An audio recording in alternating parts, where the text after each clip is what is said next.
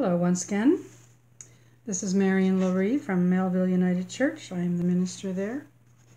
And I am presenting today for you, offering a Good Friday service. This service is based on a Good Friday service written by Gary Paterson and Keri Wehlander, found in a book called Courage for Hallelujahs. I express my appreciation to them. And we acknowledge with respect the history, spirituality, and culture of the indigenous peoples with whom Treaty 4, also known as the Haldimand Tract, was signed, and the territory wherein our church resides, and are acknowledging our responsibilities as treaty members. This is an important act that we do. So we gather in community.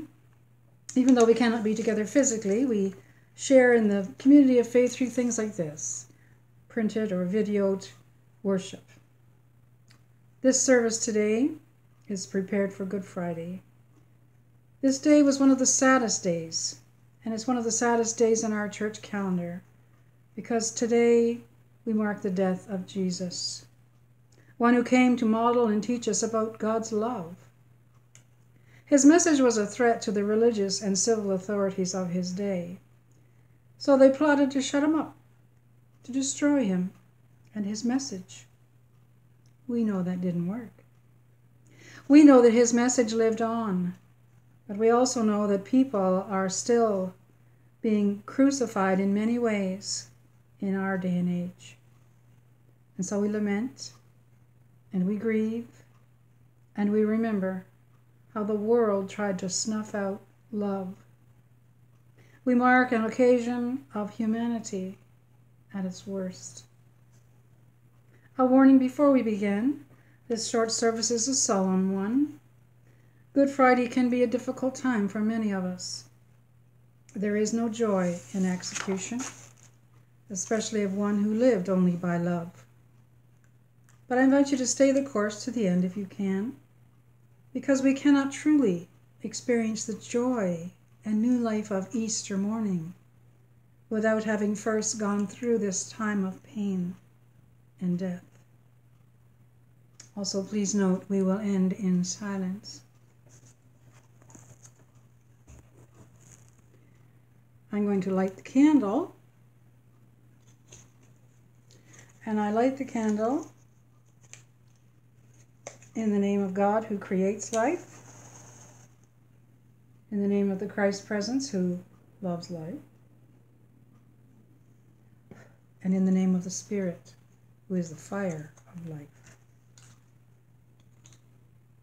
I invite you into this time of worship, a time for recognizing and acknowledging the still small voice within, a time to listen and reflect on issues of the day, time to find calm and hope and inspiration. And today, a time to grieve and remember. Come, let us worship together. Our first scripture is from Matthew 27, verses 15 to 23. Now, on the occasion of the festival, the governor was accustomed to release one prisoner, whomever the crowd would designate. At the time, they were holding a notorious prisoner named Barabbas. So when the crowd gathered, Pilate asked him, Ask them, which one do you wish me to release for you? Barabbas or Jesus, the so called Messiah. Pilate knew, of course, that it was jealousy that had that it was the reason they had handed Jesus over. While Pilate was still presiding on the bench, his wife sent him a message. Have nothing to do with that innocent man. I had a dream about him last night that's been troubling me all day. But the chief priests and elders convinced the crowds that they should ask for Barabbas and have Jesus put to death. So when the governor asked them, Which one do you wish me to redeem for you? They cried, Barabbas. Pilate said to them, Then what am I to do with Jesus, the so called Messiah?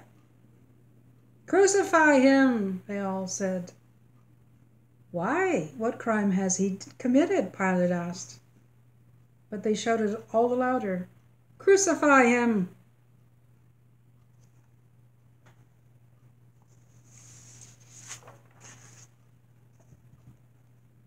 Cross symbolizes human cruelty and suffering, an oppressive political regime, and all those who have, are deemed expendable by those in power. It represents Jesus' death.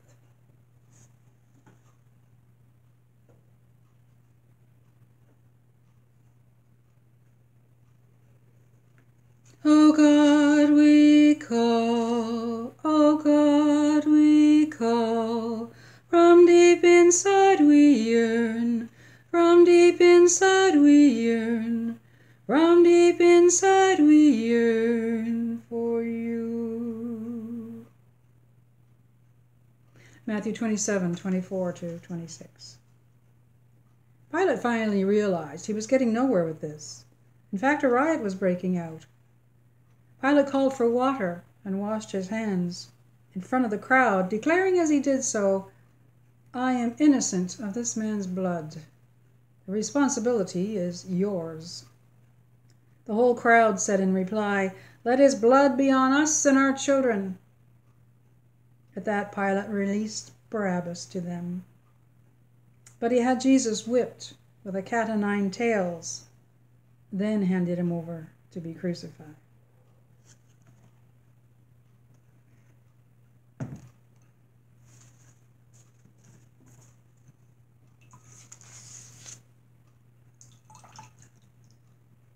Water symbolizes life and death. The waters of birth contrasted with the water that flowed from Jesus' side when it was pierced. Water represents our tears and our sorrows. It represents our thirst for mercy, healing, and for God's presence. It represents Jesus washing the feet of his followers and it represents the vulnerability of our earth and our human condition. In that we need to have clean, safe water to survive.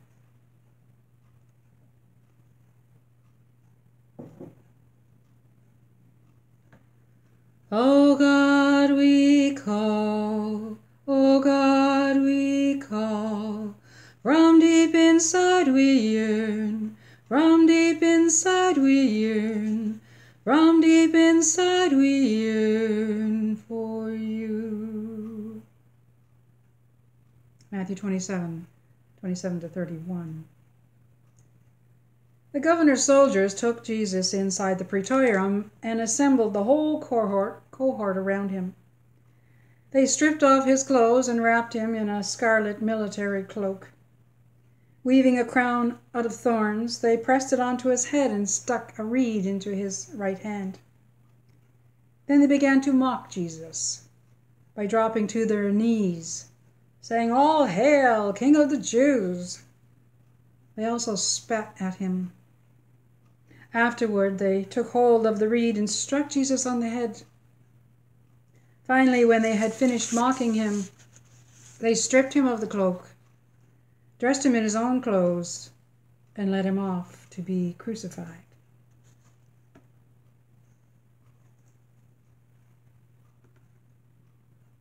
The crown of thorns, a symbol of mockery and humiliation, a warning from those in power to those deemed powerless, a reminder of all those who are imprisoned and tortured.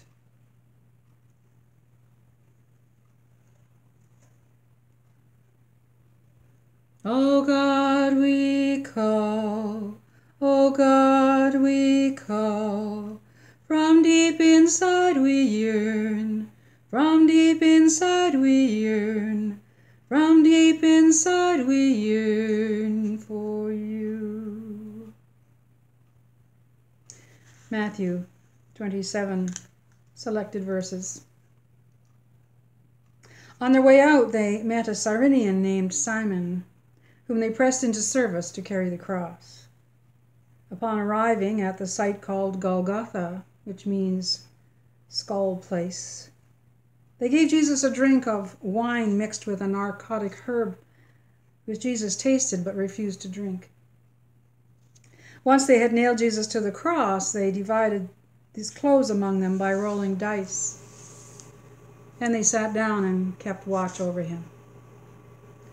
Above his head they put the charge against him in writing This is Jesus, King of the Jews.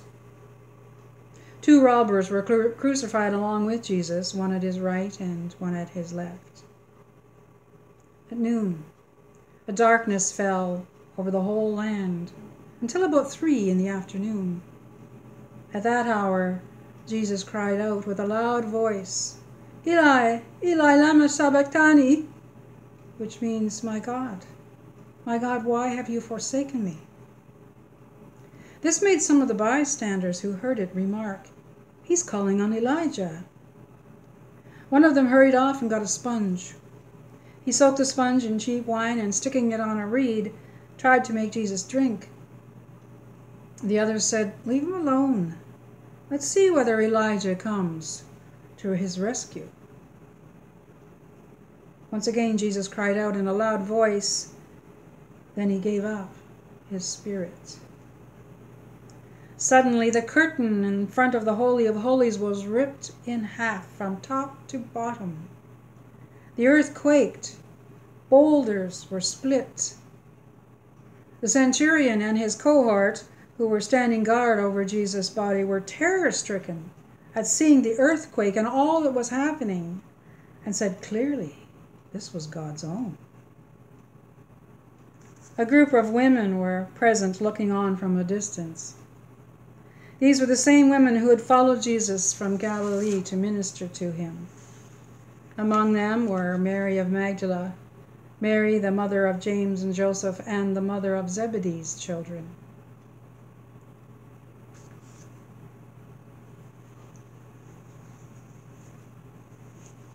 A black cloth, a symbol of our human vulnerability a reminder of how our own lives are connected to those who weave the cloth, a symbol of mourning, a reminder of the temper, temple veil tearing in two,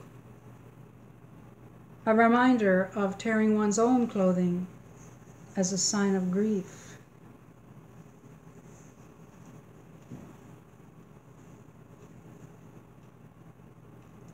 Oh God, we call O God, we call. From deep inside we yearn. From deep inside we yearn. From deep inside we yearn for you. Matthew 27, 57 to 61. When evening fell, a wealthy man from Arimathea named Joseph, who had become a disciple of Jesus, came to request the body of Jesus. Pilate issued an order for its release. Taking the body, Joseph wrapped it in fresh linen and laid it in his own tomb, which had been hewn out of rock. Then Joseph rolled a huge stone across the entrance to the tomb and went away. But Mary of Magdala and the other Mary remained sitting there, facing the tomb.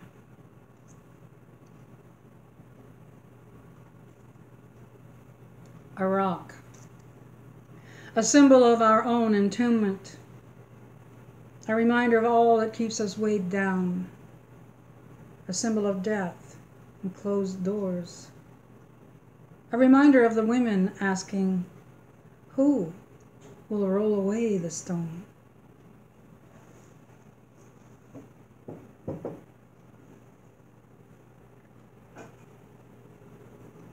O God, we call, O God, we call.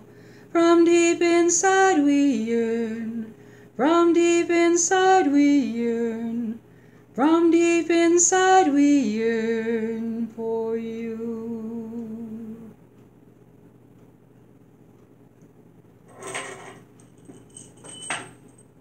Nail. The nails represent our capacity to use what we have and what we know to either build up and bring together or to tear down and wound and cause death.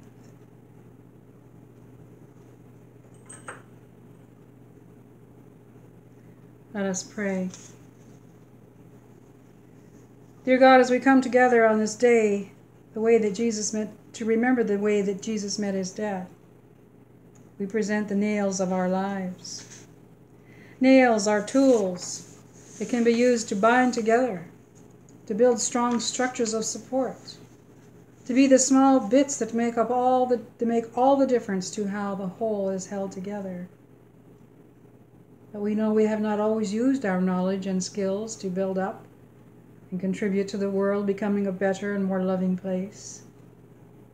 We know that many have used the nails of power, privilege, and wealth to hold others down, to imprison them both physically and emotionally. We know that when we keep silent about injustice and wrongdoing, we are hammering those nails deeper. Wake us up God of justice. Wake us up to the need and the ways that so many are crucified every day. Crucified on the cross of injustice, abuse, inequality, oppression, and cruelty. We pray today for all of the innocent ones who are sacrificed and crucified at the hands of oppressors and warlords and dictators. We pray today for all those who lack the basic tools to provide for their families. We pray today for all those who hoard the tools and the bounty of their harvests, for the few who can afford to buy them. And we pray today for ourselves as we offer up the nails of our lives, our grief, our selfishness, our arrogance, our narrow mindedness, our privilege. May we find and use the nails of mercy, of compassion, of justice, of understanding, and of love, that we may help to build a better world for all your children. And we offer these in all of our prayers. In the name of the crucified one, Jesus the Christ as we pray together the words he taught us, saying, Our Father who art in heaven, hallowed be thy name. Thy kingdom come, thy will be done on earth as it is in heaven. Give us this day our daily bread, and forgive us our trespasses, as we forgive those who trespass against us. And lead us not into temptation, but deliver us from evil. For thine is the kingdom, the power, and the glory forever and ever. Amen.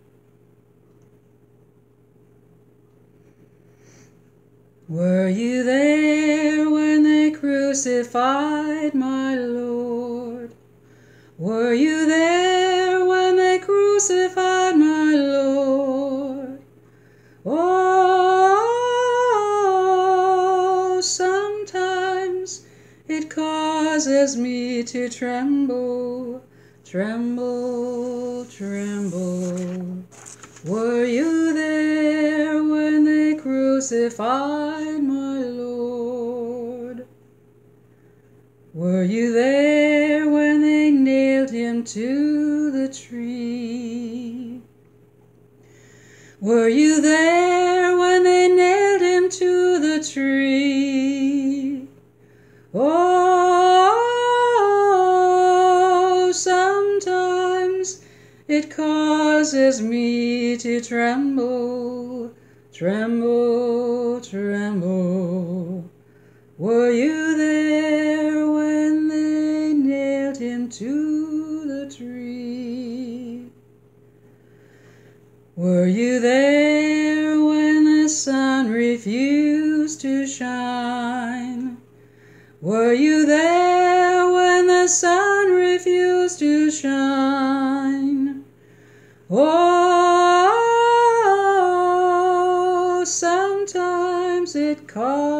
causes me to tremble, tremble, tremble.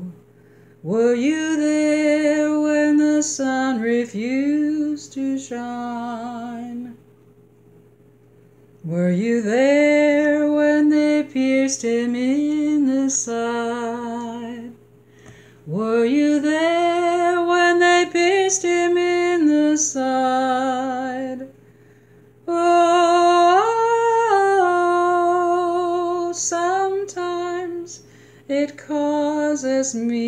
To tremble, tremble, tremble.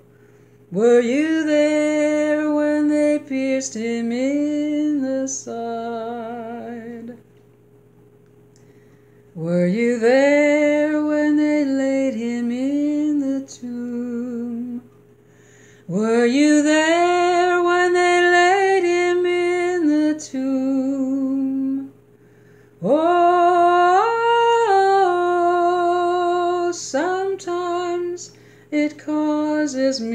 to tremble, tremble, tremble. Were you there when they laid him in the tomb?